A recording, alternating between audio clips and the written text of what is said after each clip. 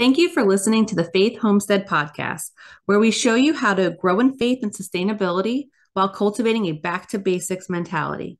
Today, we're going to dive into the subject of shaping grateful hearts, how to raise content children in an ever growing consumer driven world. We're your hosts, Matt and Sarah, and we appreciate you stopping by and taking a minute to listen to what we have to say tonight. And we would appreciate if you guys hit like and subscribe to our channel here on uh, YouTube. And if you're listening to us on your favorite podcast platform, please subscribe to our channel there as well. So, today we're going to be diving into the subject that Sarah and I really wanted to dive into this week on in, in contentment and gratefulness, um, having grateful hearts, something that we we have a conversation with our children about daily.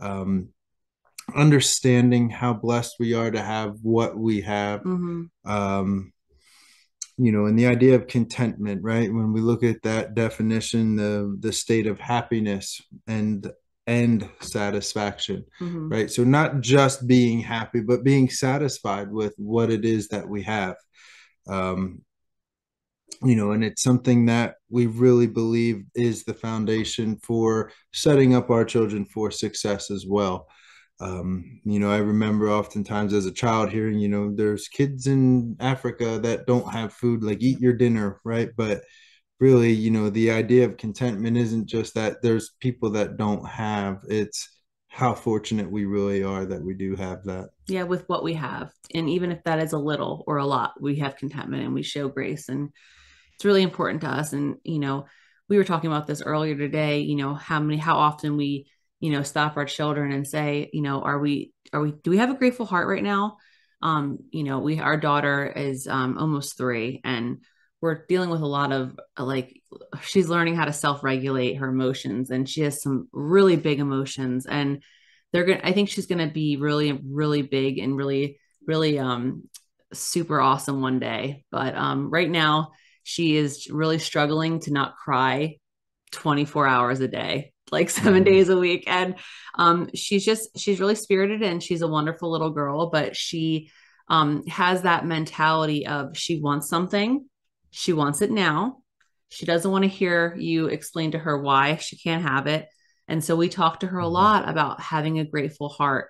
And um, we think that it's really important. And what I what I really want to touch on today, which I think is is the biggest point, is that this starts really young and it is our duty as parents to make sure that we have kids that are that are showing contentment at a very young age. Mm-hmm. And why it's important is because there are a lot of adults and a lot of teenagers that have my daughter's age mentality and they're running around like 2 and 3 year olds when they don't, you know, get what the they instant want. gratification lifestyle. It's the, it's the in, instant gratification lifestyle, and it is everywhere. It's not just with our children; it's with grown adults. And you know, and this might rub some people the wrong way, but it's it's a failure. It's a failure of parenting.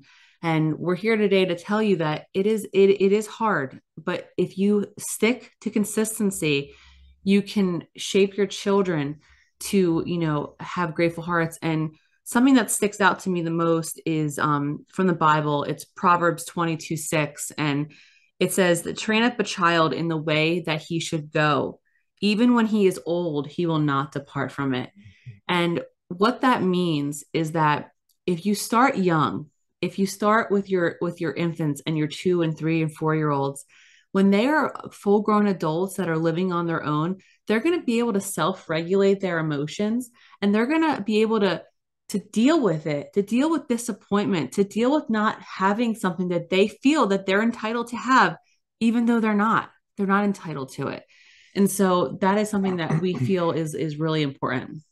Absolutely. And it reminds me of Sun Tzu in the Art of War saying, when you know the path broadly, or when you know the way broadly, you will see it in all things. Mm-hmm. Um, you know, and and again, I think that leads into the next the next step on that journey too is is discipline right yeah. and and that's Touchy something subject that, for some you know contentment and gratefulness i think also really comes from from having discipline absolutely um and you know while our kids sometimes can seem oblivious to what's actually going on around them they're always watching always listening Mhm. and the that mindset or the do as i say not as i do is an absolute way to fail not only yourself but your children as well Yeah. um, because they see that discipline right Mhm. so we can't expect them to clean up their rooms when we tell them to when we don't clean our own room up Yeah. Yeah. right um, we struggle with that because we have um, all the laundry. Uh, I don't know about you in your house, but for some reason, all of our laundry ends up in 4,000 piles in our bedroom. And so my son will come into our room and be like, Mom, your room is really messy. And I'm like, I know. And I'm, and I, and I, it's embarrassing. I feel bad. I, you know, I, I, we had just had his mother, his mother here for uh, over Thanksgiving. And I was like, oh, you know, if you're walking down the hallway to go to the bathroom, just don't look in our bedroom because we have so much laundry. And it's it's not even mess. It's just laundry Baskets and and laundry. baskets and and and and uh, clothing that doesn't fit our children anymore that are in boxes ready to go to the attic. But I yeah, it's it's the truth. You know, we need to be able to, you know, our our kids need to see and they and we need to lead by example. Um, one thing that we um, are really serious about is our children cleaning up after themselves at a very young age. Um, we start we start it as soon as they're able to walk and pick an item up with their with their hands and not just drop it when they're when, as soon as that pincer grasp goes away and we will walk them to a bin and they'll put the toy in the basket and we teach them how to clean up. And um, our son now um, when we have our younger children that when they go for nap it's his he knows it's his job to walk around the house and pick up any toys that that are that's that are still out. And you know sometimes and this is kind of where the self-regulation comes in and and learning how to be grateful and have contentment because sometimes our the playroom is really messy and it's a big task especially for a child. He just turned five a couple days ago. And he's been he's had this task of cleaning up that room for about a year now. And some days you know he gets overwhelmed. He's like mom i just i don't know where to start.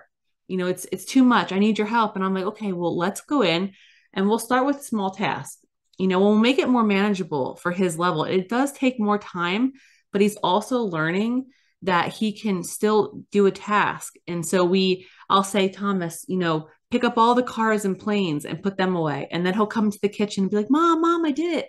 You know come look. And i'll come up and, and we'll give praise you know because they need to be praised when they're Mhm. doing what they're supposed to be doing. And then i'll say okay let's pick up all the all the kitchen you know food from the kitchen all the little plates and forks and silverware and put that away. And, and he'll put we put him into small more manageable tasks and it's it's a lot easier that way so and the overall task becomes something that's actually achievable Mhm. rather than simply looking at a, a room that is flipped upside down from Yeah. an hour or two of playing and saying well how am i going to clean this Yeah. And his reward is, I mean, after he does that, he knows that he has an hour of free time and he can do whatever he wants within reason. And normally he'll pick Legos and or or Play-Doh or he'll paint. And those are the things that he gets to do. And he knows that he gets to do that when he does his his task. And it's really important. I feel like we live in a world that is very me. It's the very it's the instant gratification, like you were saying.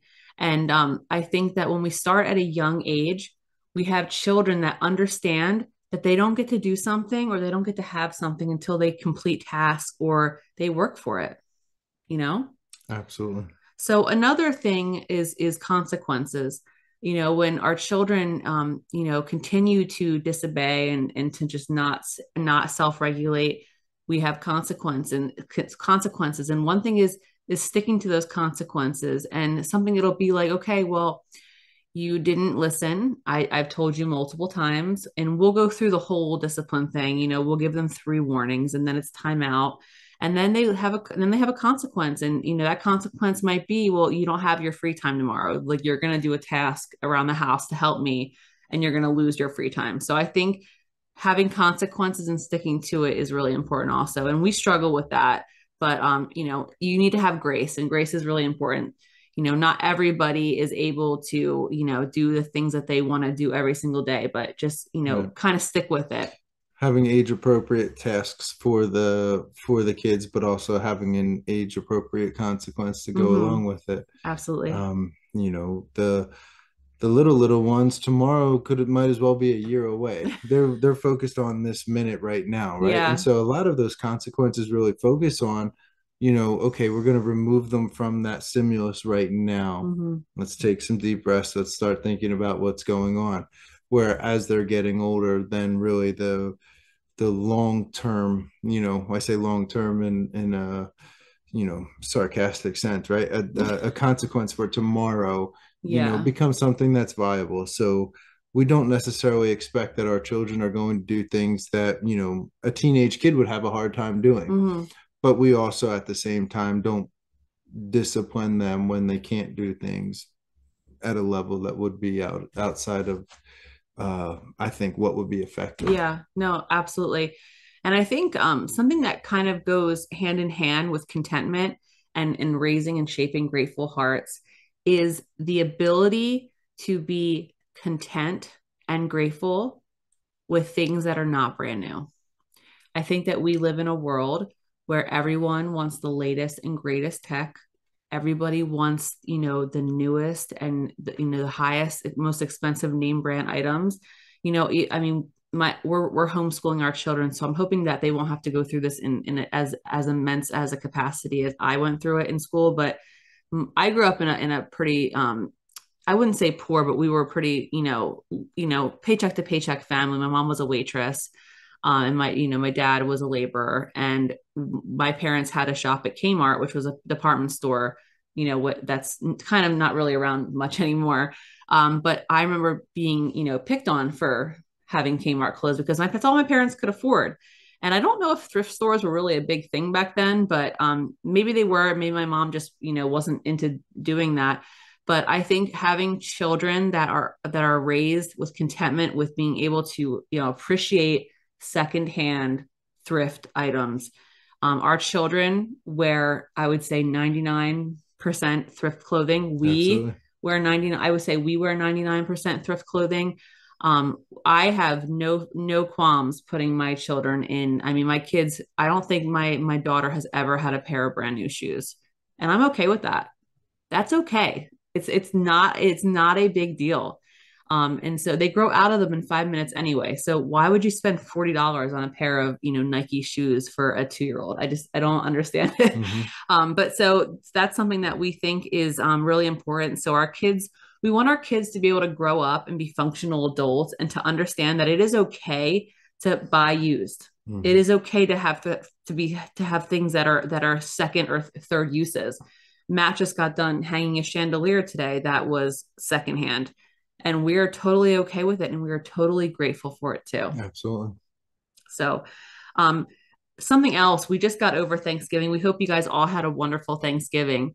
Something else that I feel like is just waste. I mean, you were talking, you know, earlier today to me about, you know, just the food waste. absolutely yeah seeing videos online of you know dumpsters of of food from a grocery store where it was reaching its its end point and rather than i guess it was going to cost more money to have it donated than it was just to throw it away Yeah. um you know and and it brought me back to at the beginning of covid when dairy farmers were dumping you know tanks and tanks of milk Terrible. down a drain because they didn't have an ability to get it out to anybody yeah, we live in the um, greatest country in the world, but we couldn't we couldn't get milk distri- distrib- you know, distributed. and the food waste is something that i mean it was something that you know to me it, it really started to kind of open up my eyes when it's probably about 10 maybe 12 years ago now but the trash companies came around with new trash cans and they were like twice the size of the old trash cans Yeah. And i was just thinking like why is there so much more trash now Mm. and they they came around again and i think they're even bigger this time than they were last and Wow. and the concept of you know we're wasting more Yeah. right So And much more. i think that these concepts this contentment the grateful heart the discipline they stem like these are like the the foundational core. things that Core. As a child as an adult as as a functioning functioning human person hmm we need to have these things more and obviously with three young kids and um really you know one in diapers one in you know nap time pull-ups you know we have a lot of trash because of that, right? Yeah. And I, I I'm thankful for the size of that trash can some weeks, but Yeah. really I, I I look at you know, and as I started to pay attention to that more, I'm driving into work and just looking at how many people have two or three or four of those cans out in front of their house, Mhm. right? Like one massive can wasn't even enough anymore. We now Yeah. need multiples. Um, and and it's like you mentioned um, with the bone broth and and understanding the the usefulness of all these things before we're actually getting rid of something have we used it to its fullest potential Yeah. So yeah, exactly. So we just we just got done. Um, Thanksgiving was, you know, obviously we just talked about Thanksgiving, and most people they take their turkeys after they're done and they, you know, they eat what they can before it goes bad, or they, you know, they give out leftovers and they just throw the carcass in the trash because no one's ever told us what to do with it. I mean, you you it's a it's a carcass. Like, what am I supposed to do with it? I throw it in the trash. Like, like I don't understand. And most people wouldn't understand that there's you can get more out of that. The most nutritious part of that bird is in the bones. And so we, you know, we we cooked our turkey. We um, you know, pulled all the meat off of it and we had the leftovers, things that, you know, we weren't going to eat, you know, tendon stuff like that. And we separated it into two giant crock pots, added water, added a bunch of like leftover vegetables and herbs that we had that we had stuffed the turkey carcass with and you know added celery and onions and garlic and lots of herbs. And we uh, low and slow cooked it in that in the slow cooker for 24 hours. And we got nine quarts nine quarts of bone broth. Delicious nutritious you know fortifying bone broth that we will use for bases and soups and stews and and turkey chili. Mhm.